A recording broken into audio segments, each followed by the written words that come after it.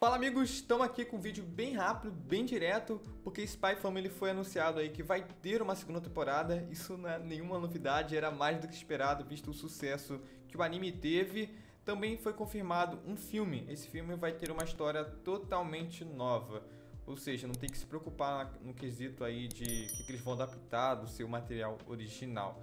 Ainda não se sabe o que, que vai vir, né? De que data vai ser essa, esse filme, de que data vai ser o lançamento da segunda temporada, mas tudo isso deve vir com o futuro. Também foi liberada essa imagem que vocês estão vendo aí na tela do, do filme, né? Que estão botando aí, Spy Family The Move. Enfim, novidades devem acontecer no futuro e eu atualizo vocês, como sempre, aqui no canal. Então deixa o like aí, se inscreve para se manter atualizado e é isso, gente. Até o próximo vídeo.